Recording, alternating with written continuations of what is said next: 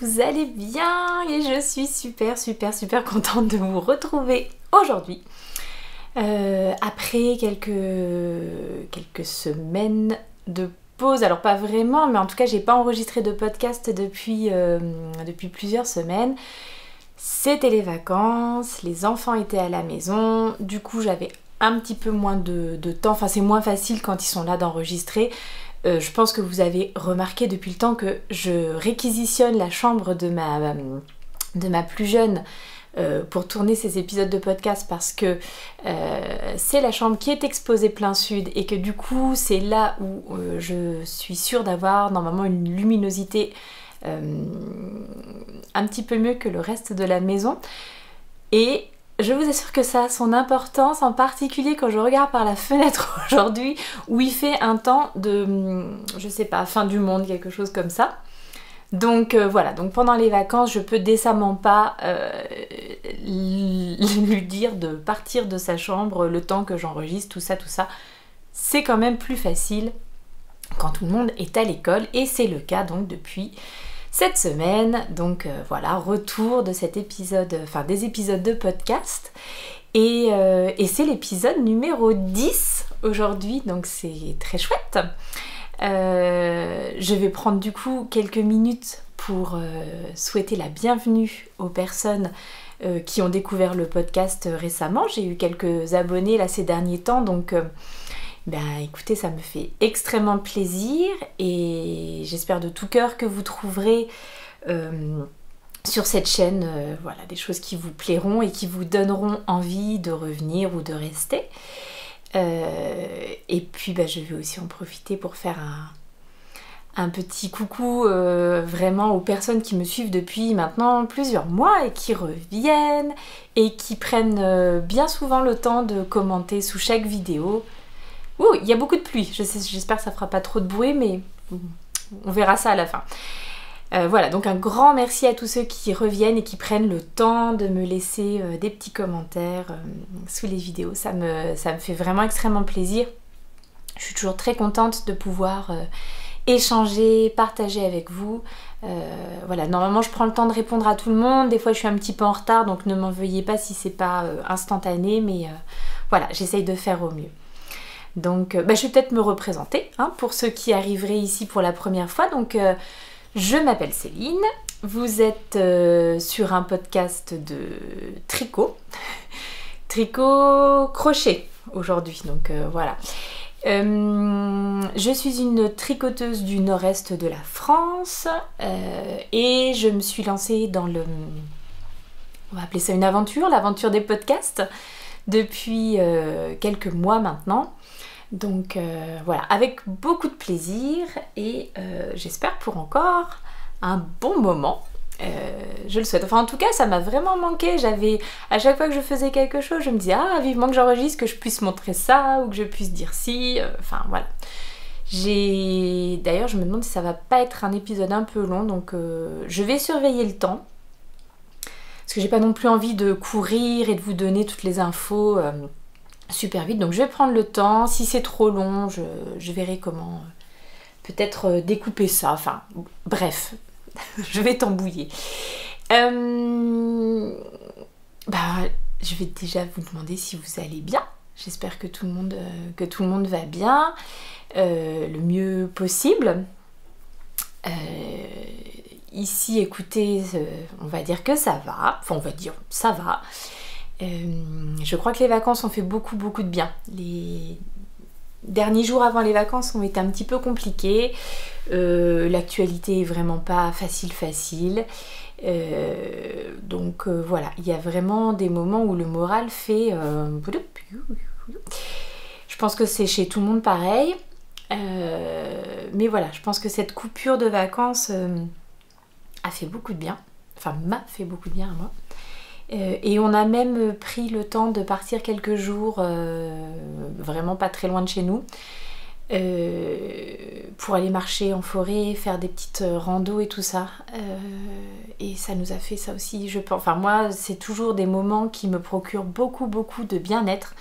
Me retrouver en pleine nature, au calme, enfin voilà. Enfin au calme. Je rappelle que j'ai trois enfants, donc non, c'est un calme tout à fait relatif. Mais je pense que vous aurez compris l'idée. Euh, bon, on va commencer parce que je pense que j'ai plein de choses quand même à vous raconter. Vous dire que vous pouvez me retrouver sur Instagram avec le pseudo See You Later Knits et désormais sur euh, Ravelry avec le même pseudo car j'ai normalement réussi à euh, changer ce, setting. Donc logiquement c'est le même pseudo maintenant que ça soit sur Instagram ou que ça soit sur Ravelry et dans tous les cas ça sera noté dans la barre de description si vous voulez me retrouver sur l'un ou l'autre de ces deux euh, réseaux sociaux.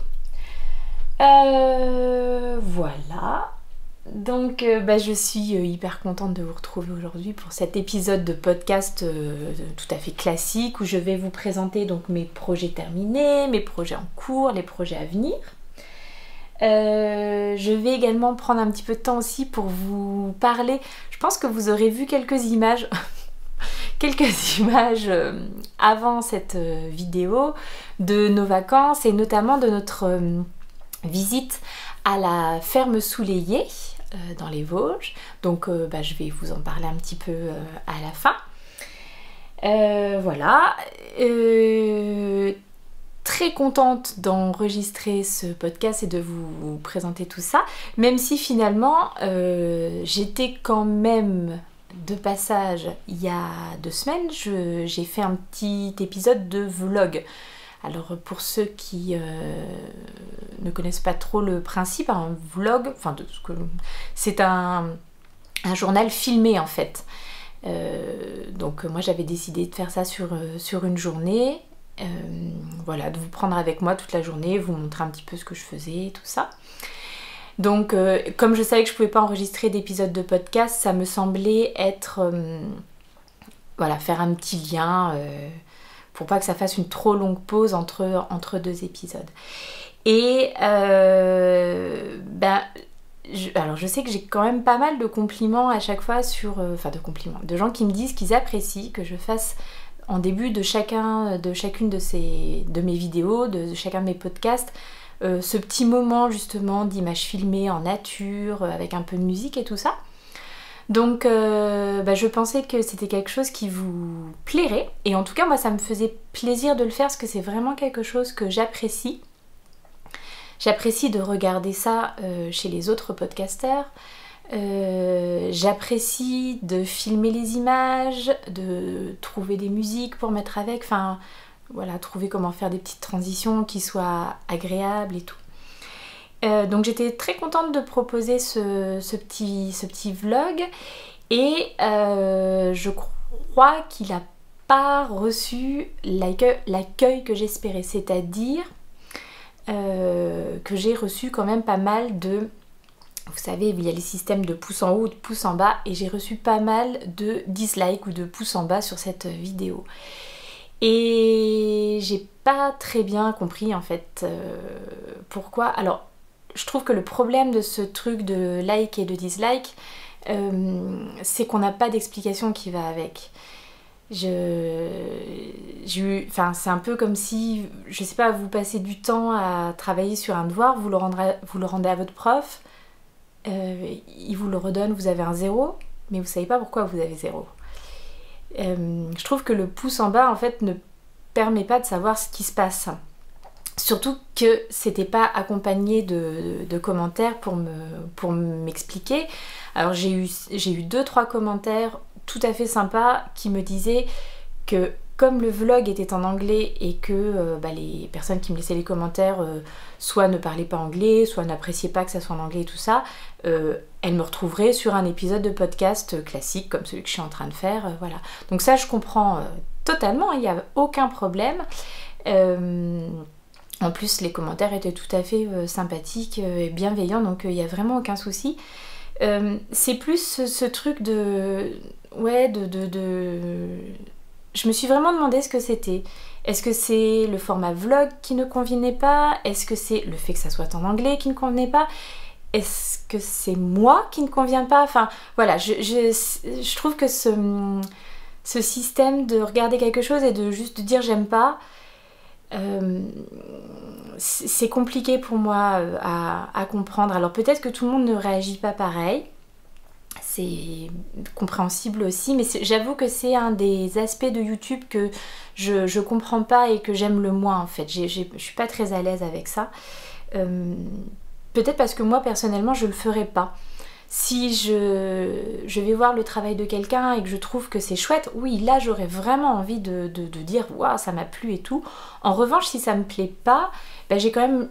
Je me rends compte que c'est quelque chose qui m'est très propre et que hum, je me sens pas l'envie de dire à, quelqu'un euh, j'aime pas ton travail. Enfin, juste de montrer que je n'ai pas aimé son travail sans lui donner de raison ou quoi. Si j'aime pas, bah, je passe mon chemin et puis je me dis que je reviendrai une autre fois. Peut-être que ça, l'autre fois ça me plaira plus. Et si de nouveau ça me plaît pas, ben j'arrête de, suivre cette personne en fait. Ou euh, voilà, je me dis juste que c'est pas pour moi et qu'il y a d'autres choses pour moi. Donc pas du tout. Peut-être que vous, vous ne prenez pas les choses comme ça. Peut-être que vous, vous ne vous n'utilisez pas cette, euh, cette option-là de, cette, de cette façon-là. J'imagine que l'idée n'est pas de, de, blesser ou de faire de la peine, euh, mais si je suis tout à fait honnête, et eh ben c'est malheureusement ce que j'ai ressenti quoi. Euh, ça m'a attristé de, de, de, me dire que j'avais bossé puis que finalement, enfin j'avais bossé. C'est un bien grand beau, ah, mais bon, enfin voilà, ça m'a demandé un petit peu de temps de, de, préparation et tout. Je pensais faire plaisir et mais, euh, visiblement non. Donc, alors en plus, bon, je sais pas si je devrais dire tout ça, mais euh, je pense que ça, bon, je pense que ça, se voit. Euh, je suis quelqu'un d'assez sensible, même euh, très, oserais-je dire trop sensible. et ça, un côté qui, je pense, est très positif dans ma vie. Enfin voilà, j'ai cette grande sensibilité, hypersensibilité, je ne sais pas, euh, peut m'apporter des choses extrêmement positives dans ma vie. Et à d'autres moments, j'avoue qu'elle peut aussi totalement me plomber. Et euh, là, en plus, c'est arrivé à un moment où malheureusement, moralement, c'était un petit peu compliqué. Je pense qu'on passe tous en ce moment par des moments comme ça de, de grand haut, de grand bas. Et c'est vrai que du coup, euh, voilà, c'est tombé en plus dans un moment où c'était pas forcément facile euh, au niveau du moral. Et là, je me suis dit, c'est dommage, je fais ce truc-là pour me faire plaisir avant tout et pour faire plaisir aux autres. Et puis, ben, finalement, c'est pas, c'est pas ce qu'il en ressort puisque moi, ça m'atteint quand euh, juste mon travail est pas validé, quoi, quelque part. Et euh, enfin, mon travail, une fois de plus, je trouve que c'est un bien grand mot, mais bon, je pense que vous comprenez l'idée, quoi. Et euh, je trouve qu'en plus, je me débat quand même assez régulièrement avec cette espèce de syndrome de l'imposteur, on va dire. Vous savez, ce truc où vous vous dites, euh, ok, j'aimerais vraiment faire ce truc de podcast de tricot, mais concrètement, je ne suis pas une excellente tricoteuse, je ne suis pas euh, quelqu'un d'extrêmement intéressant, il y a des personnes mille fois meilleures que moi. Donc pourquoi me lancer moi? Ça va jamais intéresser personne. Donc déjà, je me débat un peu avec ce genre de, d'idées-là, et c'est vrai que du coup, bah voilà, des fois un petit truc comme ça, je me dis, ah bah tu vois, tu vois que t'es pas, t'es pas légitime, quoi, t'es pas légitime. Donc euh, sur le coup, c'est comme ça que je l'ai pris. Après, bon bah je suis, j'ai juste arrêté d'aller voir les, retours. Donc, euh, et une fois de plus, euh, j'ai reçu par contre plein de commentaires positifs et les gens, enfin voilà, les personnes qui m'ont laissé des commentaires étaient plutôt, euh, étaient plutôt contents de ce vlog et tout, donc euh, peut-être je devrais essayer de ne pas trop m'attacher au, mais c'est comme ça, c'est moi, je je peux pas faire autrement en fait. J'ai toujours très peur de décevoir les autres ou de faire des choses qui vont déplaire aux autres ou qui peuvent euh, gêner et blesser les autres. Ça c'est mon, c'est ma plus grande hantise. Donc, enfin voilà. Tout ça pour vous dire que ça va mieux, ça va beaucoup mieux. Euh, j'ai un peu digéré le, truc, il n'y a vraiment pas mort d'homme, enfin voilà, mais euh, ça m'a quand même euh, attristé, marqué, et pour autant, j'ai quand même encore envie de faire des petits épisodes de vlog comme ça. pourquoi en anglais? Alors, ben parce que moi, je consomme beaucoup de podcasts sur, sur YouTube et je, enfin, je regarde vraiment beaucoup, beaucoup de choses de créateurs anglophones. Donc c'est vrai que peut-être même plus que de créateurs francophones finalement quand j'y réfléchis. Je regarde vraiment beaucoup de podcasts ou de vlogs euh, américains ou euh, nordiques euh, aussi, mais donc en anglais. Et c'est vrai que du coup ça ne me gêne pas. Et en faisant ces vlogs en anglais, j'ai aussi quelque part envie d'avoir la possibilité d'interagir avec les personnes que je regarde moi et qui ne pourrait peut-être pas forcément venir suivre un épisode de podcast euh, classique euh, tout en français. Enfin voilà, donc je pense que je referai peut-être des épisodes de vlog. En tout cas, je me l'interdis pas. Euh, mais dites-vous que ce n'est pas quelque chose qui sera que ça. J'avais, mis un petit message avant pour bien prévenir que les épisodes de podcast classiques restaient en place. Il n'y a pas de problème.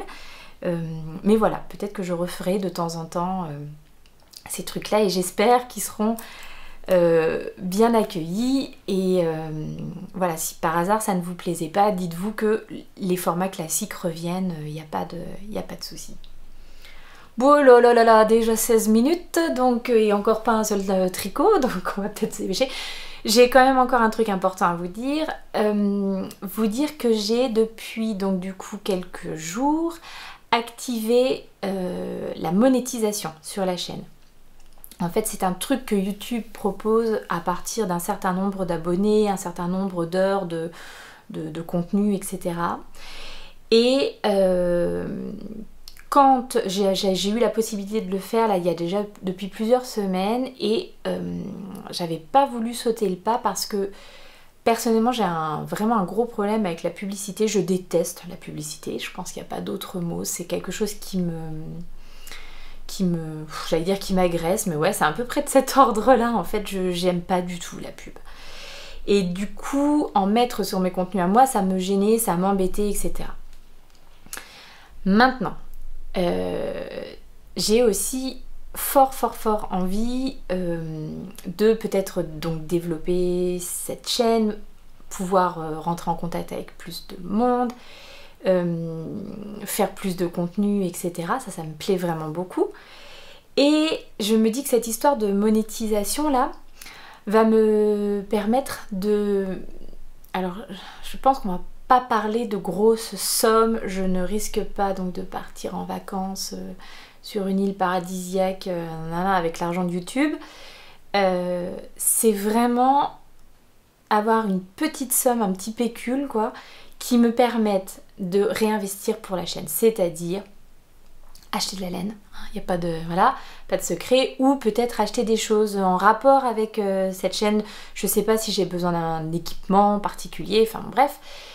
Euh, et aussi, parce que moi j'apprécie ça sur les chaînes des autres, euh, pourquoi pas des petits concours de temps en temps euh, alors moi je joue tout le temps, je gagne jamais rien, mais sur le principe, ça me ferait vraiment plaisir par exemple de faire un concours sur la chaîne une fois un certain nombre d'abonnés atteints, tout ça.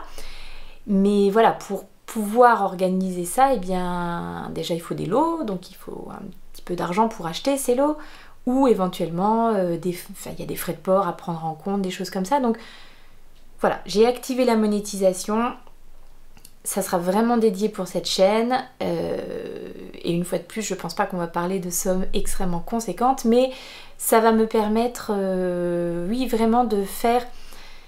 C'est compliqué pour moi, je, pense que vous, bah, je vous l'ai déjà dit, je suis maman au foyer. Euh, c'est compliqué pour moi de me dire que c'est avec l'argent de ma famille que je vais par exemple peut-être euh, envoyer des lots à certaines enfin voilà. Donc ça je serai plus tranquille ou plus plus à l'aise avec cette idée que l'argent de la chaîne me permet après soit de m'équiper ben, en tricot pour vous montrer des trucs soit euh, en matériel pour que ça soit encore plus joli etc parce que j'aurais envie de faire des trucs encore plus jolis euh, soit voilà pour pouvoir faire gagner des lots tout ça donc, donc voilà j'ai activé ce machin là, je débute complet. Hein. Donc euh, l'idée, ça serait de ne mettre des publicités que avant ou après la vidéo.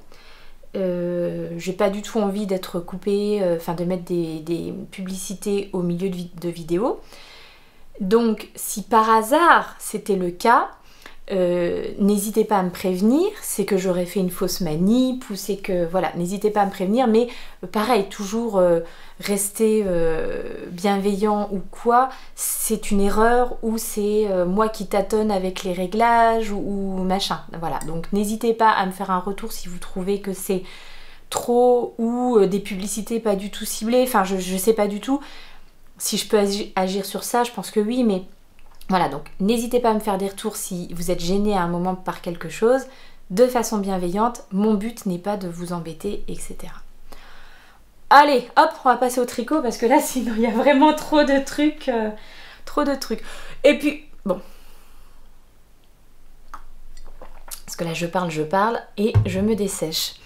On va quand même tout de suite commencer par cette petite, euh, cette petite chose-là que vous voyez depuis... Euh, depuis tout à l'heure et que je suis tellement contente de vous présenter.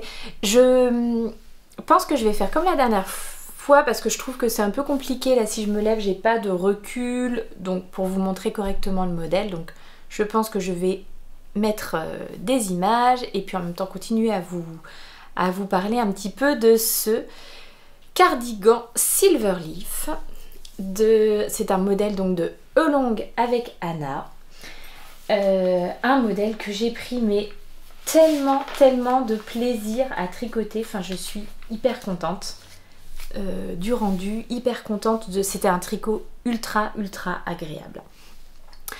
Je l'ai tricoté avec euh, les laines recommandées, les laines que Anna a utilisées pour elle son modèle, c'est-à-dire la Knitting for Olive. C'est bien celle-ci. Donc il y a deux, brins dans ce... Vous tricotez deux brins en même temps. Donc un brin de Soft Silk Mohair et un brin de Merino. Et pour mes deux fils, j'ai utilisé le même coloris qui est le coloris Rust. Donc c'est un gilet qui se tricote en aller-retour. Euh, donc oui, mesdames, il y a des rangs, mesdames et messieurs, pourquoi pas, il y a des rangs en vert. Et je pensais que ça allait être embêtant. Et bah même pas. Finalement, c'était tellement agréable à tricoter que euh, même pas, même pas embêtant. Donc vous commencez par le haut du gilet, vous tricotez en faisant euh, donc les allers-retours, en faisant les augmentations pour créer ces raglans de chaque, de chaque côté des manches et dans le dos. Et puis vous tricotez ici en faisant des augmentations pour créer l'encolure. Puis ensuite, euh, vous continuez tout droit, vous séparez en mettant les manches en attente. Vous continuez, vous déroulez votre corps. Là, moi, je me suis arrêtée pour ensuite faire mes manches et reprendre le corps une fois que les manches étaient terminées pour pouvoir aller aussi loin que possible parce que je le voulais un petit peu plus long que sur le modèle euh, proposé par Anna. Euh, c'est un modèle crop et moi je, voilà, je, voulais, je voulais qu'il arrive euh, à la ceinture du jean quoi. Donc c'est ce que j'ai fait. Les manches, donc ensuite quand vous les reprenez, vous, c'est tout un motif de dentelle tout le long de la manche. les manches sont droites, il n'y a pas de diminution. Vous faites les diminutions tout à la fin de façon euh, assez drastique sur deux rangs. Et ensuite, ben, quelques côtes. Euh, c'est des côtes 1-1 me semble-t-il, oui. C'est des côtes 1-1 euh, sur les poignets. Ce qui donne donc un petit effet manche un peu ballon comme ça qui est très agréable, mais pas trop, pas trop prononcé. Enfin, moi, je trouve que c'est vraiment parfait. C'est exactement ce que j'aime.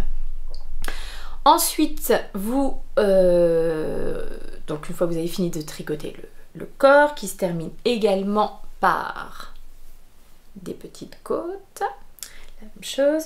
Donc, une fois que vous avez tricoté tout votre corps, vous reprenez, vous relevez des mailles donc de chaque côté pour créer d'un côté une patte de boutonnage et d'un côté ben, des petites euh, boutonnières. Voilà. C'est très très jolis petits boutons. Est-ce que vous allez les voir? Je vais me rapprocher. C'est très très jolis petits boutons. Vas-tu faire le point, vilain appareil? Alors, où, comment faire? Oh, Quel dommage, on voit même pas à quel point c'est beau. Bon, bah je suis vraiment désolée, je n'arriverai pas mieux. Ce sont de très jolis petits boutons de chez Liz Taylor euh, à paillettes dorées. Et je trouve qu'au niveau coloris, on est pas mal euh, en rappel. Euh, ces boutons, je les ai trouvés à la mercerie Rograph à Nancy. Donc voilà. alors, concrètement, ils sont un poil trop petits. Le modèle dit qu'on peut prendre des boutons de 12 mm ou de 15 mm. Moi, je trouve... Donc les 12 mm sont euh, trop petits, c'est-à-dire que ça ferme, il hein, n'y a pas de souci. Par contre, je pense que euh, si je vis 5 minutes avec, c'est-à-dire si j'attrape un truc, truc ou quoi, ça s'enlève. Donc voilà. Mais euh, de toute façon, je ne porte, je porte pas mes gilets fermés en fait. les gilets, a priori, je les porte toujours ouverts. C'est vraiment à enfiler rapido sur euh, un t-shirt, une blouse ou quoi. Donc ça ne me gêne pas. Si vraiment je suis embêtée, deux possibilités. Euh, bah, je recommande des boutons chez Liz Taylor euh, ou j'attends que la mercerie Regraphe reçoive les autres parce qu'ils avaient que ceux-là en fait. Et j'avoue que je les trouvais vraiment très très jolis. Hein. Euh, mais voilà, je, Taylor, elle fait aussi, euh, elle décline en fait ces boutons là. Alors peut-être pas en petits boutons bottines comme ça, mais des boutons euh, plats à trous classiques. donc elle, les a en différentes tailles. Donc soit j'en recommande un jeu, je, un petit peu plus grand, je les, je les couds à la place de ceux-là. Mais en fait, je pense pas parce que comme je ne le porte pas fermé, je pense que ça va pas me manquer en fait de pouvoir le fermer. Donc euh, pour l'instant, je, je reste comme ça, c'est très bien. Euh, voilà, que vous dire d'autre sur ce modèle? Donc j'ai fait la taille 95 cm en 4,5. Mon échantillon était le même donc, euh, que Anna, donc pas de problème. J'ai oublié de vous dire que au niveau du col, la finition ici c'est un i-cord, donc qui fait une finition je trouve hyper euh, soignée, hyper euh, nette, vraiment très très jolie. Enfin franchement, je, me répète, mais j'ai pris un plaisir incroyable à tricoter ce modèle. C'était que du bonheur. Il n'y a pas un moment où j'ai été embêtée par quelque chose. Donc le seul truc, pardon, le seul truc dont je vous avais parlé, euh, alors qui m'a pas embêté, mais c'est ici. Est-ce que vous allez le voir? En fait, donc vous faites euh, vos augmentations pour la manche. Le motif est un motif qui est sur 8 mailles, je crois. Je me rappelle déjà plus. Hein. Une cervelle de vraiment de poisson rouge, hein. c'est terrible. Donc c'est sur 8 mailles. Donc en gros, vous augmentez, vous créez, vous créez des, mailles, et quand vous en avez 8, le modèle vous dit, vous attaquez un, vous attaquez euh, un, nouveau, euh, un nouveau motif. Et le truc, c'est que moi, je suis arrivée juste à cet endroit-là avec 8 mailles. J'ai donc créé mon nouveau motif, sauf que j'aurais pu y penser, hein, mais voilà. Euh, en fait, euh, c'était le dernier rang du motif. Donc, ce qui est un petit peu dommage, c'est que là, j'ai un trou isolé et qui ne correspond pas à un motif. Le motif, il est, euh, il est en bas, là, le nouveau. Donc voilà, c'est la seule chose. Oui, attendre que vous, ayez 8 rangs pour commencer un nouveau motif, mais peut-être ne pas commencer ce motif si il ne vous reste que euh, ben, rangs du motif à faire, quoi. Me comprenez-vous? Suis-je claire? Voilà, c'est vraiment c'est le, seul truc, c'est le seul endroit. je pense qu'il n'y a que moi qui le remarquera. En plus, c'est voilà, sous bras, donc euh, il n'y a pas de souci. Si vraiment j'étais gênée, pareil, il me reste un petit peu de mohair, je fais un petit point pour que ça soit fermé, voilà tout. Mais team euh, grosse feignasse, je pense que ça va rester comme ça. Euh, je ne pense pas que ça soit un modèle qui s'adresse vraiment à des débutants. Euh, il y a quand même quelques petites techniques, notamment, bon bah la dentelle elle n'est pas compliquée, mais c'est vrai que c'est une dentelle assez conséquente. et puis c'est surtout le placement en fait. Il faut comprendre la logique, c'est plutôt, c'est bien expliqué, il n'y a pas de problème, j'ai pas eu de, soucis. Euh, voilà, mais je me dis que quelqu'un qui débuterait, ça serait peut-être un peu déstabilisant. Après, peut-être aussi la finition à la corde, c'est une petite technique, euh, voilà, le relevé des manches et tout. Donc peut-être pas pour un premier modèle, mais oui, pour un, niveau intermédiaire, euh, sans souci. Hein. Il n'y a rien de... Particulièrement compliqué, hein, vraiment. Et puis, j'ai trouvé le patron très clair, très bien expliqué. Je n'ai pas eu de, moment de, doute ou de... Tout était limpide pour moi, en tout cas vraiment aucun problème. Et je terminerai juste à dire que comme j'ai euh, vraiment pris un plaisir incroyable à tricoter ce modèle, je participe avec sur Instagram au Cal Tricot Kiff de chez Mimi. Et euh, elle a montré dans une de ses dernières vidéos euh, les lots qu'elle mettait en jeu et ça me fait super super envie. Il y a notamment deux patrons de, choses qui sont sur mes, dans ma liste de favoris depuis un petit moment. Donc euh, croisez les doigts pour moi ou euh, voilà. En tout cas, j'espère que je vais remporter un patron. J'adorerais ça. Donc voilà. Une fois de plus, ce que je vous raconte, si ça vous semble un peu malin, j'aurais noté dans la barre de description toutes euh, les infos. Est-ce que j'ai autre chose à vous dire sur ce petit cardigan? J'adore Non, je crois que c'est tout. Donc je vais passer à mon deuxième projet fini que je vous avais présenté la dernière fois. Et j'en profite. Comme j'étais à la mercerie Regraphe, j'en ai profité pour les boutons, j'en ai profité pour ces jolis petits bloqueurs à chaussettes. Qu'est-ce que j'ai acheté encore? Je ne sais plus. Mais euh, trop bien. Il y a plein de petites choses pour les chaussettes qui arrivent. Elle m'a dit aussi qu'elle allait bientôt rentrer d'autres fils à chaussettes et tout. Donc euh, voilà. Euh, moi je vais assez régulièrement sur Nancy puisque j'ai de la famille qui habite là-bas. Donc très bien, parfait, ça fait mon, ça fait mon bonheur. Donc, ces petites chaussettes. Chaussettes on va les appeler les chaussettes de chevet de mon fiston, de mon aîné. Donc je vous l'ai dit, cette année je fais une boîte de bas pour moi et je fais euh, une paire de chaussettes pour euh, tous les membres de ma famille parce que voilà, j'ai reçu des plaintes, j'ai reçu des demandes. Donc eh ben, j'en profite parce que peut-être qu'un jour ils voudront plus que je leur tricote quoi que ce soit. Donc voilà, cette année, tout le monde aura sa petite paire de chaussettes. Alors, l'Hélène utilisée euh, pour le coloris contrastant, c'est de la Long Yarns, euh, la Yavol, et le coloris, c'est le coloris 188, c'est entre le, entre le vert et le bleu, je dirais. Donc que j'ai utilisé pour les côtes, pour le talon et pour les orteils. Et pour le coloris principale. Alors, c'est de la laine Atelier Franziska Hull.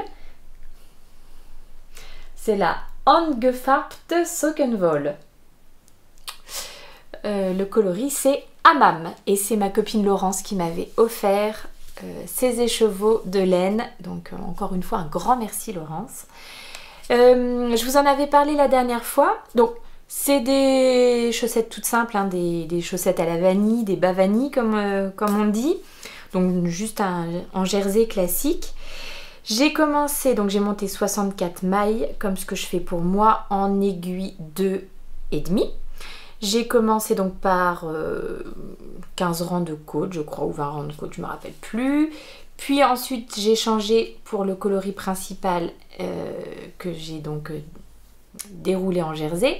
Et je m'étais aperçue que la laine faisait un magnifique pooling, c'est-à-dire que je me retrouvais avec ben, toute la couleur noire d'un côté, toute la couleur verte de l'autre, donc c'était pas très joli. Bah en fait, là vous voyez qu'elles le font toujours, mais ce que j'ai fait, c'est que du coup j'ai fait, euh, fait la méthode hélicoïdale, de tricot hélicoïdal, c'est-à-dire que à tous les rangs, je changeais de fil. En fait, j'ai pris le fil à l'extérieur de la, de la pelote et le fil à l'intérieur, et tous les rangs, je changeais de fil. Ce qui m'a permis d'obtenir cet effet un peu de micro-rayure comme ça. Et euh, bon, alors euh, voilà, clairement, c'est avec ces laines teintes à la main, euh, vous n'avez pas deux fois la même, la même chaussette. Mais mon garçon les trouve très bien, donc voilà, parfait, tant mieux, tant mieux. Et du coup, oui, ça fait, on conserve hein, cet effet de, de, pooling, on voit que ça, les couleurs se placent au même endroit et tout ça, mais comme j'ai alterné de fil, je trouve qu'on dirait presque de, des rayures. Donc c'est moins dérangeant que vraiment. Au début c'était moche moche. Hein. ça faisait, je vous assure, une bande noire comme ça qui partait de côté. Donc ça n'allait pas du tout.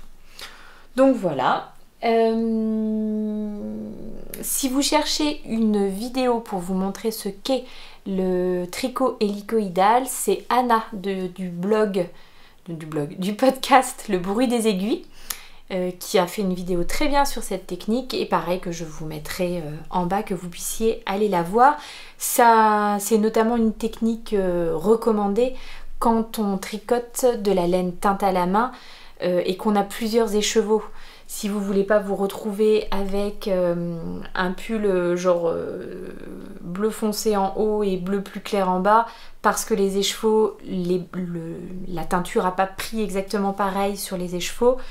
Voilà, c'est peut-être mieux d'alterner comme ça euh, son tricot. Voilà, donc euh, ben, mon garçon est ravi, je le suis tout autant, donc euh, pas de pas d'autre chose à vous dire sur ce modèle, si ce n'est que du coup,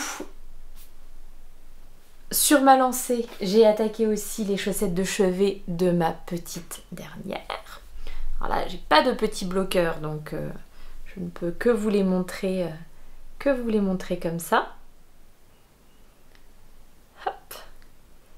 Ah, en 27-28, euh, c'est tout de suite plus rikiki, ça va tout de suite plus vite. C'est-à-dire que ça, je les ai montés dans la voiture euh, oui, dans la voiture, quand on est parti en vacances euh, dans les Vosges, j'ai tricoté dès que j'avais un moment, j'ai tricoté au chalet quand on rentrait le, quand on rentrait le soir. Euh, et du coup, ben, en 2-3 jours, c'était fait quoi. Bon, ouais, 2 jours peut-être.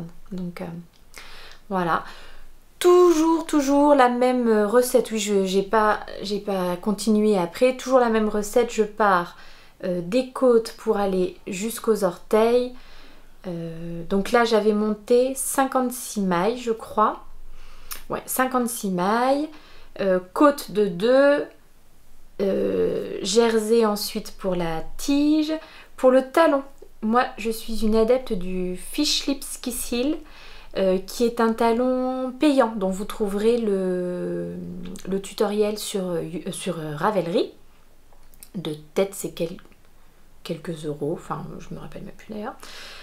Mais ça vaut le coup, c'est un talon assez sympa à faire. Enfin, moi je le trouve euh, bien, il se place bien sur mon pied. C'est un de mes. C'est mon préféré avec le talon à gousset au niveau confort. Voilà.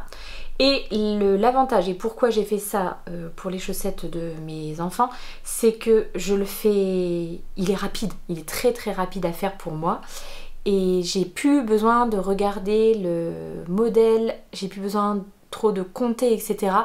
Donc euh, je peux vraiment le faire de façon très simple. Et voilà, c'est ce qui me permet d'aller vite euh, pour faire ces chaussettes voilà, un petit peu plus rapidement. Une fois que j'ai fait mon talon, j'ai repris donc le pied de la chaussette. Et quand je suis arrivée à 5 cm de moins que la taille désirée, j'ai commencé mes diminutions pour les orteils. Et je termine le bout de la chaussette par un Kitchener Stitch. Et pareil, euh, ça c'est super bien parce que maintenant j'ai plus besoin de regarder comment on fait, comment ça se fait. Je sais pas si vous verrez grand chose. Hein. j'ai plus besoin de regarder comment ça se fait. Euh, j'ai en tête euh, la, manipulation. Donc, euh, totale liberté, plus besoin de partir avec un patron ou de consulter des trucs. Si j'ai ma laine, si j'ai mes aiguilles, hop, c'est tout bon. Donc, donc voilà. Les laines, justement. Donc, pour les contrastants, c'était encore de la Yavol de chez Lang Yarns. Et cette fois, c'était le coloris 290. Et pour le coloris principal qui est vraiment très très chouette, hein. franchement euh, c'est incroyable ce travail de teinture. Donc c'est une teinturière indépendante qui vend sur Etsy. C'est Gales Art et le sur la base Wondersock et le coloris c'est Graffiti Asphalt. Voilà. Et ça, c'est ma copine Aurélie qui euh, qui m'avait offert. J'ai deux beaux écheveaux. J'en ai un qui arrive bientôt au bout, puisque j'avais fait une paire pour moi aussi. Je l'avais, j'ai utilisé ce coloris-là aussi dans un contrastant pour une autre paire de chaussettes, je crois bien. Ou pas. Bon, bref. Et en tout cas, voilà, la, paire de ma petite. Donc euh, là, j'arrive au bout de mon premier écheveau. Et euh, il me reste encore un complet. Donc merci encore mille fois Aurélie. Merci beaucoup, beaucoup si tu passes par là. Euh, voilà, alors, ça gratte, c'est trop grand, euh, ça ne va pas. Donc, bon, je les ai tricotées un petit peu grandes parce qu'on arrive quand même à la fin de l'hiver et je me dis que l'année prochaine euh, ou l'automne prochain, j'imagine que ma petite pépette elle aura pris un peu en pointure donc euh, j'avais pas envie de faire un truc vraiment très ajusté et que du coup elle ne puisse que très peu les porter. Donc oui, j'avoue, c'est un petit peu grand. Euh, ça gratte, bon bah ça gratte. Souvent ça gratte. Puis après quand maman elle dit oh mais tes chaussettes quand même, ça gratte plus trop. Après on n'y pense plus trop. Donc je pense que j'insisterai quand même un peu. Mais sinon elle les trouve très belles. Elle était très contente de la couleur et tout ça, mais euh, je sais pas si elles seront beaucoup portées, on verra. On verra, on verra. Voilà, donc euh, pour mes projets euh, terminés, c'est pull et chaussettes. Et du coup, si vous comptez bien, les deux paires que j'ai là, la paire que j'avais fait pour ma, ma cadette la fois d'avant, pour les enfants, c'est bon. On est, on est ok, tout le monde a sa paire de chaussettes. Euh, donc maintenant, on va passer aux objets en cours et on va passer aux chaussettes de chevet de mon mari. Et là, on n'est plus sur du 28 du tout, du tout, du tout. Euh, pourquoi euh, chaussettes de chevet? Tiens, d'ailleurs, je, vous ai... Enfin, je sais que j'en ai déjà parlé, mais je vous le redis. C'est Julie Miette, bah, du podcast du même nom. Euh, qui avait lancé ça il y a quelque temps, euh, pareil sur, euh, sur, Instagram. En fait, l'idée c'est qu'elle a commencé à hum, lire et à tricoter en même temps et elle se cherchait des projets justement qu'elle puisse faire, où elle puisse faire les deux en même temps, tricoter et lire en même temps. Donc des projets qu'on appelle zéro cerveau, hein. quand on fait du jersey en rond comme ça, c'est que des mailles en droit, donc il n'y a pas besoin de beaucoup réfléchir. Et du coup, bah, j'avais vraiment envie de me de, faire ça, c'est-à-dire d'avoir toujours euh, un projet que je puisse prendre. En fait, peu importe où je me suis arrêtée, euh, je sais où j'en suis, je peux reprendre, euh, voilà. Et c'est exactement ça avec ces, ces chaussettes-là. Je suis capable de reprendre ma chaussette et de savoir exactement où j'en suis, ce qui me reste à faire, même si je m'arrête dans le talon, vu que je connais bien maintenant ces talons-là, le fish lips, euh, je suis capable de poser mon truc et de reprendre plus tard. Euh, Par contre, je n'arrive toujours pas à lire et à tricoter en même temps. Donc bon bah je crois que voilà, hein, c'est tant pis, serait c'est comme ça. Et voilà, donc chaussettes de chevet pour grand mari qui chausse du 45. Donc on n'est plus du tout sur les mêmes, sur les mêmes, euh, les mêmes tailles. Hein. Je les ai commencé, ceci dit, euh, non, avant-hier. Donc euh, autant vous dire que finalement ça va quand même relativement vite. Donc, que vous dire sur ces chaussettes? Alors, bah, la laine déjà, hein La laine. Donc c'est de la Hedgehog Fiber, c'est la base Sock Yarn et euh, celle-ci c'est le coloris Oak, c'est lui qui a choisi. Hein. Euh, j'avais pas du tout de laine à chaussettes euh, qui lui plaisait. Étrangement, j'ai vraiment. Là en laine à chaussettes, j'ai que des coloris très pastel, rose, machin. Bon bah étrangement ça lui plaisait pas trop. Et du coup, euh, j'avais une petite commande à passer euh, sur le site de laine et tricot et euh, pour un futur projet dont je vais vous parler bientôt. Et du coup, je lui ai demandé de se choisir une laine à chaussettes. donc, il a trouvé chez Hedgehog Fiber. voilà. Donc, c'est une 90% mérino, 10% nylon, fabriqué en Irlande. Moi, je suis assez fan de leur coloris. Euh, je pense que ça ne plaît pas à tout le monde parce que c'est quand même très euh, bariolé, etc. J'étais... Enfin voilà. Euh, il est très content pour l'instant. Il a... essayé, tout lui va bien. Et, et même le rendu, ça lui, ça lui plaît. Donc, bah, tant mieux. Parce que c'est vrai que c'est difficile hein, de se rendre compte en écheveau de ce que ça va donner une fois, une fois tricoté. Hein. C'est compliqué. Euh, on n'a pas de salon sous la main, on peut pas trop, euh, pas se déplacer encore en ce moment, donc euh, hein, on en a marre un petit peu d'acheter sur internet. Moi j'ai vraiment hâte de pouvoir refaire un salon, de pouvoir toucher des belles laines et tout ça, donc vivement, vivement. Hein. donc voilà, le coloris principal c'est cette laine Hedgehog Fiber et pour le contrastant, c'est aussi de la Hedgehog Fiber dans la même base, euh, Sock Yarn. Et c'est un petit reste. Euh, j'avais fait pour ma boîte de bas de l'année dernière le modèle euh, Into the Woods de Melody Hoffman. Et je l'avais fait donc dans cette laine de chez Hedgehog, dans le coloris Libling. Et du coup, je sais pas, il y avait des rappels de la, de la Hawk. Hein, ces petites taches un peu rouille là qu'on retrouve. Euh, hop, hop. Donc euh, voilà, j'ai décidé de faire pour le talon et pour la pointe euh, un talon et une pointe contrastés avec l'accord de mon mari. Il est tout à fait ok, partant et voilà. Et donc pour l'instant ça lui plaît. Que vous dire Donc j'ai monté 72 mailles j'ai fait des côtes de 2, toujours en 2,5, des côtes de 2, euh, toujours ma tige en jersey en rond, donc ça, euh, ça va hyper vite. Moi je tricote sur des mini circulaires. En fait là comme ça en jersey c'est vraiment euh, mon truc préféré, c'est le truc avec lequel je suis le plus à l'aise. J'adore ça, les 23 cm.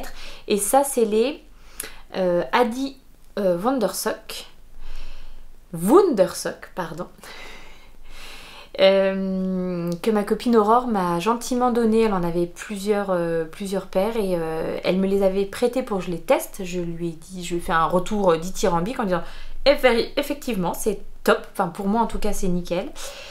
Vous savez il y a une, il y a un côté qui est plus long que l'autre et la fille qui a du mal à s'en sortir. Voilà, il y a un côté qui est plus une aiguille qui est plus longue que l'autre. Et du coup, je trouve qu'on a une meilleure prise en main. Alors c'est marrant parce que au début, j'avais le côté le plus long dans la main gauche, la main donc qui pour moi tient le tricot, et le, le côté le plus court donc qui manipulait la laine. Et vous avez été plusieurs à me dire euh, ah bah moi c'est marrant, je fais l'inverse. Donc du coup j'ai essayé l'inverse. Bah ça marche aussi. Et euh, aujourd'hui du coup je sais pas, je j'ai tendance à faire plus effectivement ce que vous m'avez dit, c'est-à-dire le côté le plus long dans la main droite. Moi je tricote à l'anglaise hein, avec la, euh, la laine dans la main droite, je lâche mon aiguille, tout ça, tout ça. voilà, et du coup, c'est... Ouais, finalement, c'est presque mieux d'avoir le, côté le plus long dans, le, dans la main droite. En tout cas, de cette façon-là, ça file et alors... la laine elle est hyper hyper agréable à tricoter alors enfin vraiment c'est un régal à tricoter puis les, variations de couleurs et tout du coup on s'ennuie pas le seul truc et là par contre, euh, bah non, je peux pas vous montrer, c'est que la laine déteint. Je tricote et quand je, regarde mes mains, j'ai du, vraiment du noir partout euh, aux endroits où ça, frotte. Donc euh, il va falloir que je fasse attention quand je vais les laver, que ça ne déteigne pas trop sur les couleurs plus claires.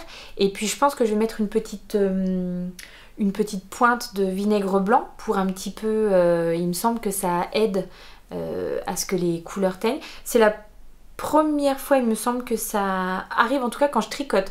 J'ai déjà eu des laines qui ont dégorgé quand je les ai mises à laver.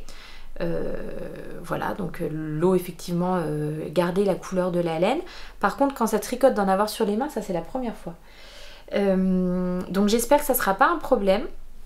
J'espère qu'il va pas finir avec les pieds les pieds tout noirs, ou alors ça, ça serait pas très grave, les pieds se lavent, mais les chaussures euh, ou les pantalons, s'il porte un pantalon euh, euh, d'une couleur un peu plus claire, enfin je sais qu'il a des pantalons un peu bleu clair, ou enfin voilà, que ça fasse pas des marques dessus, donc à voir. C'est le seul truc, mais j'espère que ça posera pas trop de problèmes.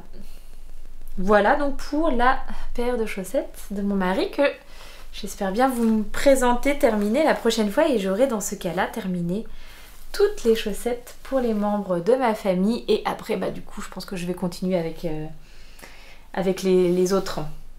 J'aimerais bien faire une paire pour ma soeur, mon papa, enfin etc. On va continuer dans la chaussette, hein? Alors j'espère que ça ne s'entend pas à la vidéo. Mais j'ai le ventre qui gargouille.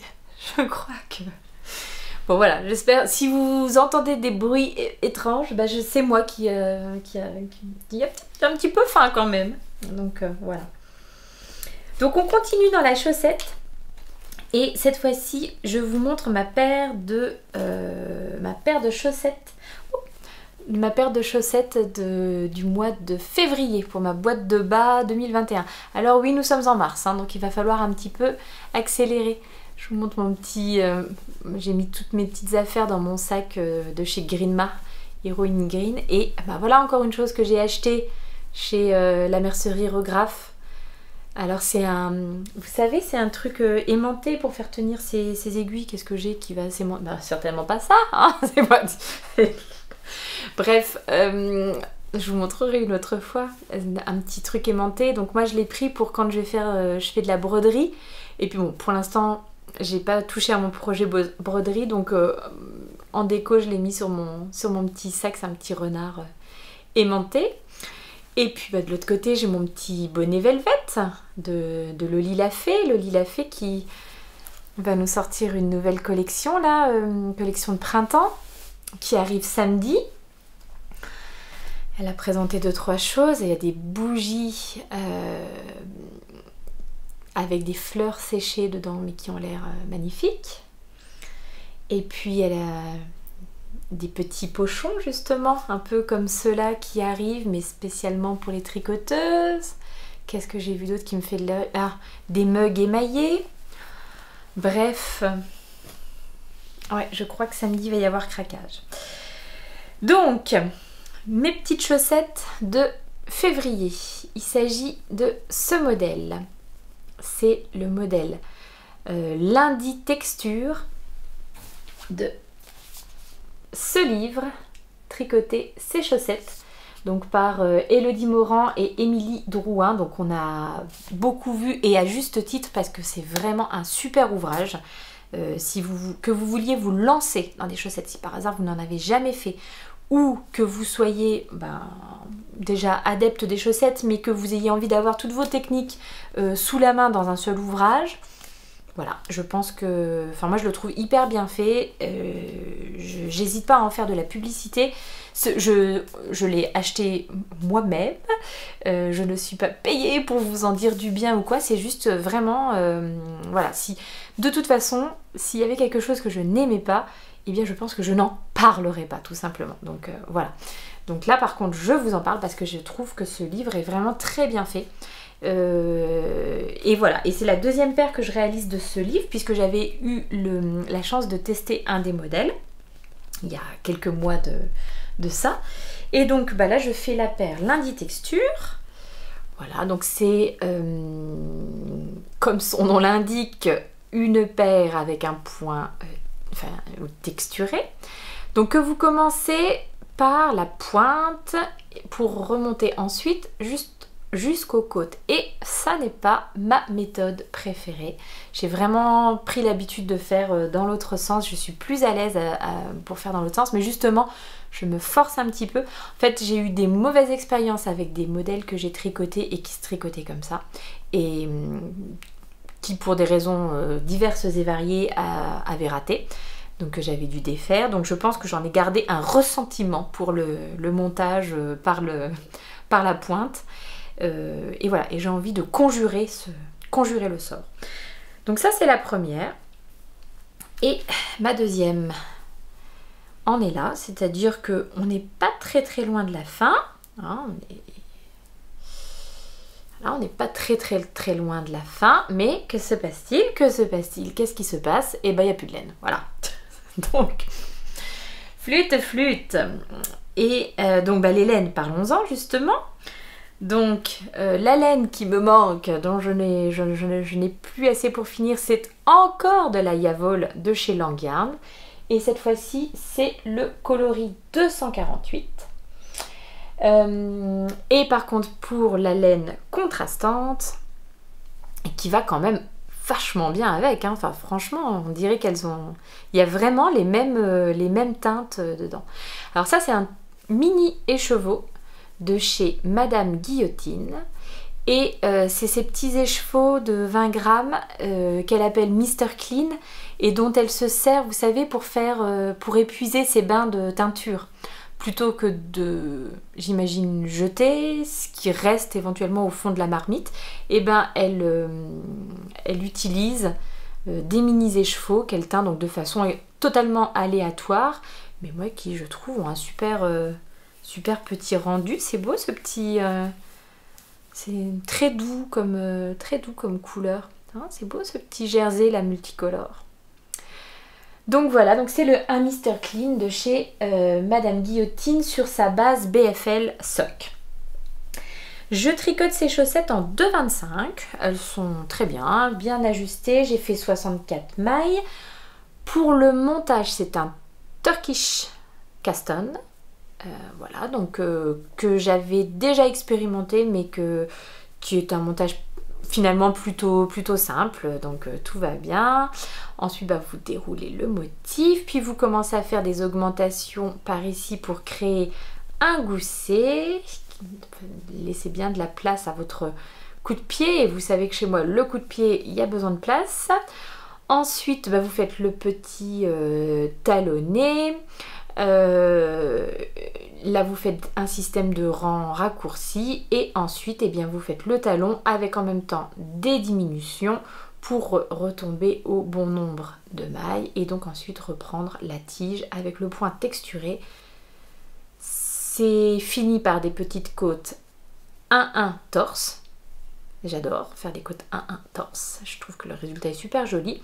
Et c'est un rabat à l'aiguille, le rabat Elisabeth Zimmerman. Elles ne sont ni lavées ni bloquées pour l'instant. Euh, donc voilà, donc je suis en panne de laine et c'est bien embêtant parce que sinon elles auraient été terminées depuis euh, fort... Euh, enfin en tout cas elles auraient été terminées. Heureusement pour... Parce que la laine Yavol, je l'achète au Luxembourg. Hein. Vous savez qu'on n'est pas très loin de la frontière luxembourgeoise et du coup il y a une boutique à Luxembourg qui s'appelle Bastelkist et qui vendent pas mal, qui vend pas mal de laine. Et du coup, bah, c'est chez eux que j'achète euh, la laine de chez, de chez Lang euh, pour les chaussettes. Et, eh bien là, en ce moment, euh, je peux pas trop me rendre au Luxembourg comme ça. L'achat de laine n'est pas considéré comme un motif de déplacement prioritaire. Et puis bon, quand bien même, enfin voilà, j'ai pas. Je, vais respecter la loi, etc. Donc pour l'instant je ne peux pas y aller, mais j'ai ma copine Aurélie qui, elle, est vraiment frontalière, frontalière et qui, du coup, a le droit de circuler librement entre les deux, puis qui travaille au Luxembourg, qui est passée me récupérer une petite pelote, cet amour d'Aurélie. Et du coup, voilà, je pense qu'elle va, on va essayer de se croiser ou peut-être elle va me l'envoyer pour que je puisse quand même terminer cette petite chaussette euh, avant le mois de décembre. Hein. Ça serait pas mal les chaussettes de février là. Donc euh, voilà. Que vous dire d'autre sur ce modèle? Bah oui, si, une chose importante. Les filles, donc euh, qui, ont, qui sont les autrices de ce livre, ont créé un cal, un knit along. Euh, donc vous pouvez aller sur le compte tricoter ces chaussettes. Alors je crois que c'est tricoter underscore c underscore chaussettes sur euh, Instagram. Et de là vous aurez un lien euh, sur lequel vous pouvez vous enregistrer pour rejoindre ce cal. C'est un cal qui se passe sur la plateforme Discord. Euh, donc voilà, donc je me suis inscrite pour les rejoindre.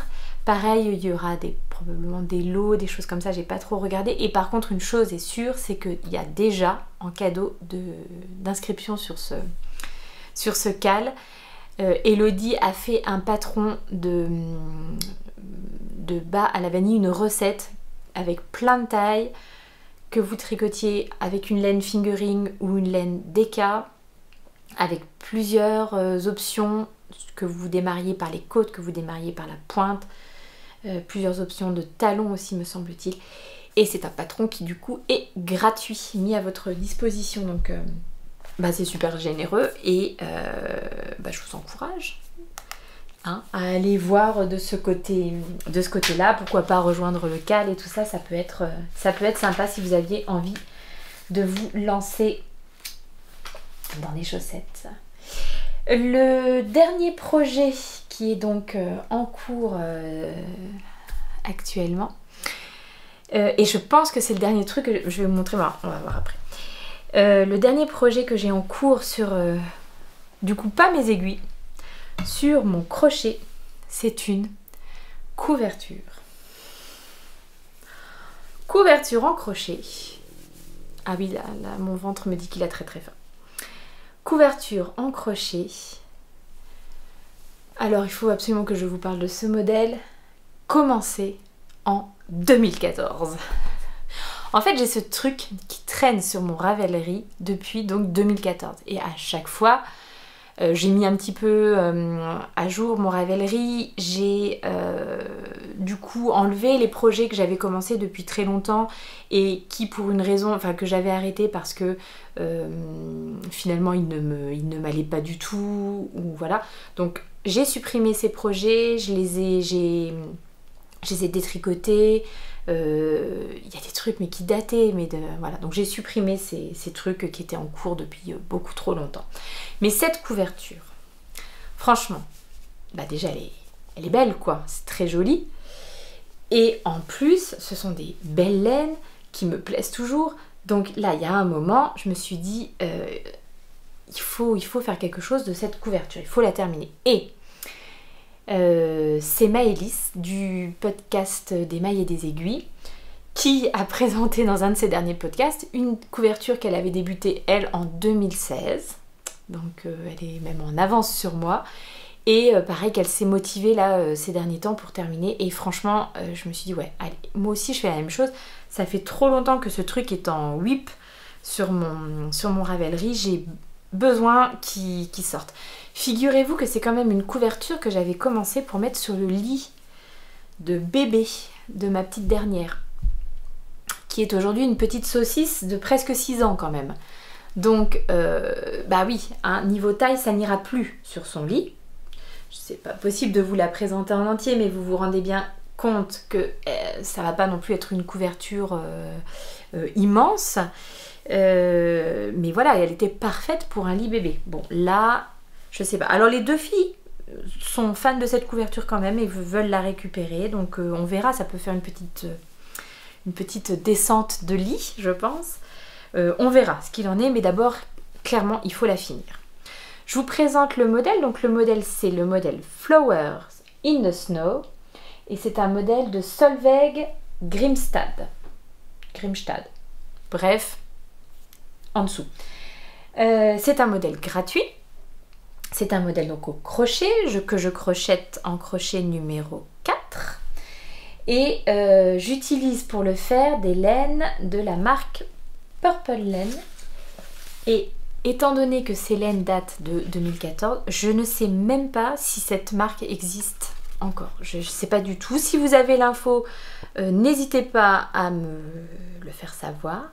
Et euh, ce sont des laines qui m'avaient été offertes une fois de plus. Enfin, à chaque fois, j'ai l'impression que je suis toujours hyper hyper gâtée. J'ai des copines vraiment en or, euh, donc voilà, je suis toujours extrêmement gâtée. C'est des laines qui m'avaient été offertes par ma copine Julie. Et donc au niveau des coloris, je crois qu'il y a donc écru pour celle-ci gris, corail et menthe, ou peut-être mint euh, pour les couleurs.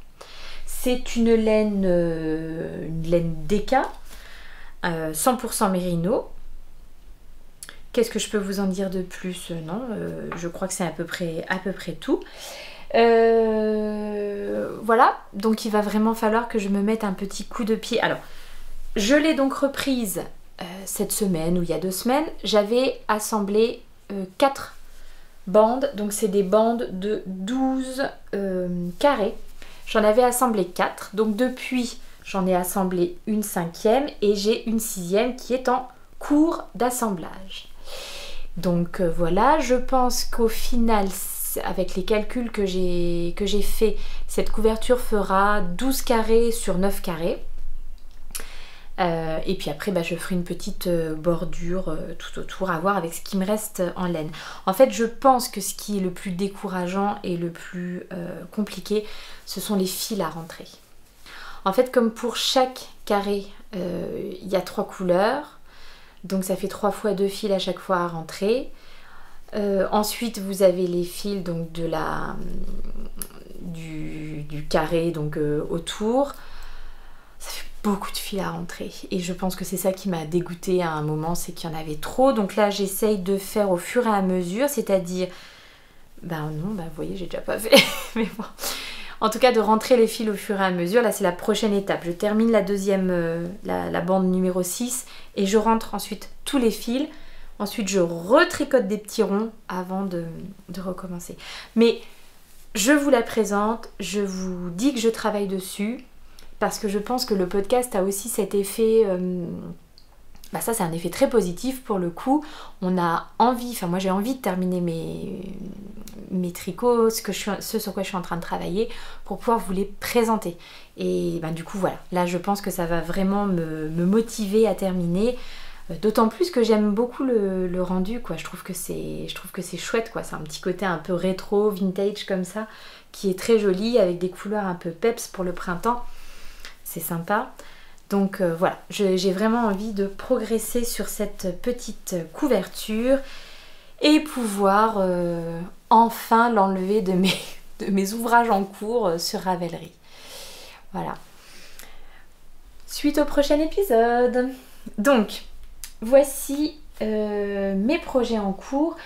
Je voudrais vous parler des projets à venir, mais en fait, je vois que ça fait déjà plus d'une heure que j'enregistre et là ça va être vraiment très très long parce que j'ai encore euh, plein de choses à vous montrer sur euh, les commandes que j'ai faites. Donc je pense que ce que je vais faire, euh, j'ai filmé quand j'ai reçu ma commande de chez Laine et Tricot, donc la laine à chaussettes là pour mon mari.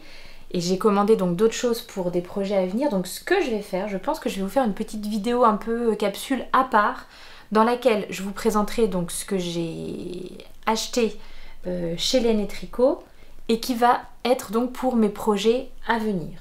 J'espère que, ce, que cette façon de faire vous, ira, mais là, euh, un épisode de deux heures, je trouve que ça va être, euh, ça, va peut-être pas être très très agréable. Voilà, moi j'ai, puis même, je sais pas si j'arriverai à parler encore pendant une heure. voilà, je vais vous saouler, je vais me saouler, donc je vais peut-être faire ça. présenter les projets à venir dans une future vidéo un peu haul et projet à venir. Et en attendant, par contre, je veux vraiment, vraiment, vraiment vous montrer les petites choses que j'ai ramenées de notre escapade vosgienne parce que c'était un super chouette moment. Donc, nous sommes allés donc à la ferme les et une fois de plus, je vous en parle, il n'y a pas du tout de sponsoring, de quoi que ce soit. En fait, euh, quand on a réservé là pour notre, euh, petit chalet euh, dans les Vosges pour nos vacances, j'avoue que j'avais regardé quelque chose à proximité de cette ferme, donc ferme qui élève des chèvres angora et qui propose de la laine, et de la laine mohair. Et du coup, euh, voilà, j'avais regardé quelque chose à proximité de cet élevage parce que j'avais vraiment fort envie de pouvoir aller acheter de la laine et de pouvoir euh, bah, voir comment ça se passait. Et donc j'ai envoyé un petit message euh, à Florence, donc, qui est l'éleveuse donc de ces, de ces petites chèvres, de ces petites béquettes. Et il faut savoir que donc dans cette ferme, ils font également chambre d'autres chambre d'hôtes et table d'hôtes. Donc au moment où nous on devait partir, il n'y avait pas de place pour les chambres d'hôtes. Mais euh, elle m'a très gentiment dit que oui, euh, elle pourrait nous accueillir. Euh, voilà, on a terminé un jour tout ça, et qu'elle prendrait quelques minutes pour nous montrer un petit peu l'exploitation et tout ça. Et chose qu'elle a fait, et je la remercie vraiment parce que on est arrivé, nous, le dimanche, alors avec les histoires de couvre-feu, ben, on est arrivé en même temps que des personnes, donc euh, des hôtes qui venaient, eux, euh, passer quelques jours dans le gîte. Et euh, elle a quand même pris le temps vraiment de nous faire visiter, de répondre à mes questions, de... Enfin voilà, je me suis pas du tout sentie ni pressée pour acheter des trucs. Enfin voilà, c'était extrêmement sympa de sa part de prendre ce temps-là. Et, euh, et alors franchement, enfin, je, pense que c'est une personne qui est passionnée par ce qu'elle fait, enfin ça se, ça se sent en fait. Euh, donc elle, elle est sur cette exploitation donc avec son mari. Ils élèvent euh, tous les deux leurs leur chèvres angora, il y en a une quarantaine. Et en fait, quand je lui ai demandé comment elle était arrivée là, elle m'a juste répondu on a, Nous, on a vécu 20 ans en région parisienne. Et euh, voilà, elle n'a pas eu besoin de me dire plus. J'ai bien compris ce qu'elle voulait dire, euh, donc je, pense qu'à un moment, voilà, ils ont eu envie et besoin de se rapprocher de la nature. Elle est tricoteuse, euh, donc voilà, ils ont eu l'idée de se lancer dans, cet élevage de, de chèvres. Et misère qu'elles sont mignonnes ces petites biquettes là avec des looks. En plus nous quand on les a vues, je pense que la, elles sont tondues deux fois par an et je pense que la dernière, tonte devait remonter à quelques mois. Donc elles avaient mais des, enfin, des coiffures, non pas des coiffures mais des petites têtes improbables. Vraiment elles sont mignonnettes. Et, euh, et encore on n'a pas vu de toutes petites petites. Il y avait des jeunes, mais euh, il n'y avait pas de petits bébés par exemple. Ça, ça sera plutôt pour le printemps. Euh, mais elles sont super adorables. Enfin, moi je trouve qu'elles sont mignonnettes comme tout. Euh, on est sur une ferme qui élève donc euh, les chèvres pour leur euh, laine. Les chèvres sont donc tondues deux fois dans l'année, mais c'est tout. les chèvres sont pas élevées pour le lait, elles sont pas élevées pour autre chose, et du coup, il n'y a pas d'abattoir quoi. elles gardent enfin, ils gardent les chèvres aussi longtemps que possible euh, avec eux. Les chèvres meurent de leur euh, de vieillesse, euh, mais elles ne sont pas envoyées à l'abattoir. je pense que c'est des gens qui, qui adorent vraiment un ce qu'ils font et deux leurs bêtes quoi. Mais ça se voit en fait, euh, Florence, quand elle nous montre les. quand elle nous explique un petit peu tout, euh, bah, elle parle avec ses chèvres et elle les reconnaît toutes, quoi. Elle, c'est les, celle-ci, c'est peut-être un tel, une telle. Enfin, et nous on est là, mais en fait, elles sont toutes les mêmes. Ah bah non. Euh, enfin voilà, elle, elle arrive à les, à les reconnaître, elle, les câline et tout. Enfin. En même temps, on a très envie hein, de câliner parce que ça, c'est tout doux comme ça. Donc, Alors moi, j'avais très envie. Ma petite dernière, elle, avait beaucoup moins euh, envie. Je pense que même, euh, je crois qu'on peut dire qu'elle était un petit peu terrorisée. Mais elle a une, euh, elle est, ma petite dernière, elle a très très peur des animaux. Donc voilà, ceci explique cela. Mais ouais, moi j'avais envie de faire des câlins à tout le monde, donc voilà. donc je pense que j'y retournerai avec grand plaisir. J'en ai déjà parlé un petit peu aux, copines du, du, tricoté, savoir ouais, si on pouvait s'organiser une petite retraite tricot à Cornimont, ça serait vraiment chouette. donc les chèvres sont tondues deux fois dans l'année et après donc ils récupèrent, euh, ils récupèrent la laine et ils trient à la main. Ils trient à la main euh, les, la laine selon euh, la taille, selon l'épaisseur, selon la couleur. Ils enlèvent les saletés. Enfin voilà, ils font tout ce travail-là avant, eux, sur place.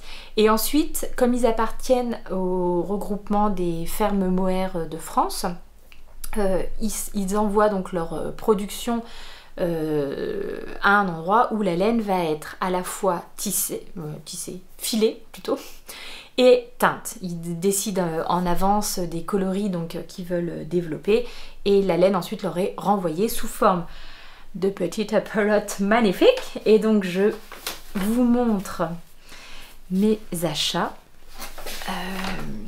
donc pareil, un pas de sponsor, pas de machin. Mais j'ai pris des choses, et, mais tout n'est pas pour moi. Voilà. Et je ne dirai pas pour qui c'est. Mais voilà, il y a aussi pour gâter un petit peu. Regardez les petites, ces petites beautés. Et euh, même si le temps n'est pas terrible, et eh ben oui, voilà, je trouve que les couleurs ressortent pas mal du tout. Je trouve ça, moi, d'une douceur... Euh, alors, je sais que je suis peut-être pas forcément une bonne référence parce que je suis pas très sensible à la laine. Mais comme d'habitude, je suis capable de reconnaître un fil doux quand j'en vois un. Donc moi je lui ai acheté euh, exclusivement cette qualité cette qualité là qui est, la qualité mohair et soie. Donc c'est une 80% mohair de chevreau, 20% soie. Elle est super douce. Ils ont également du pur mohair. C'est une laine qui est encore plus euh, fluffy comme ça et qui peut être vraiment tricoté euh, seul, euh, à mon avis, sans problème. Moi, je pense que je vais peut-être... Est-ce que vous allez voir quelque chose? Je pense que je vais quand même tricoter avec un autre fil. Enfin, je sais pas encore. Je sais pas encore. J'ai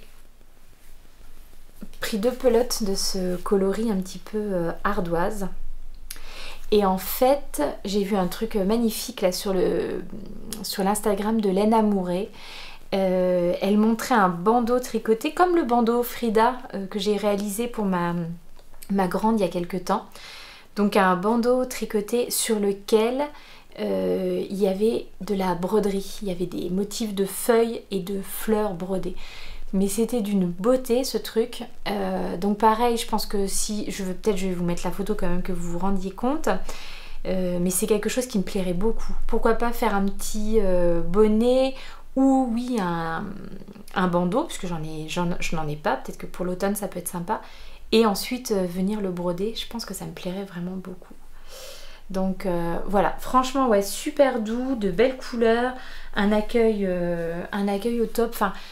Si par hasard vous passez dans le coin, n'hésitez pas à leur passer un petit, coup de fil. Et puis, euh, et puis ouais, moi j'ai vraiment très très très envie de proposer à mes copines de tricoter, de nous faire une petite euh, retraite euh, tricot mohair et, et balade, rando. Il y a plein de chemins de rando. Enfin nous on a fait des super randos là avec les enfants. on a de la chance, on a des enfants qui aiment marcher, qui marchent assez bien.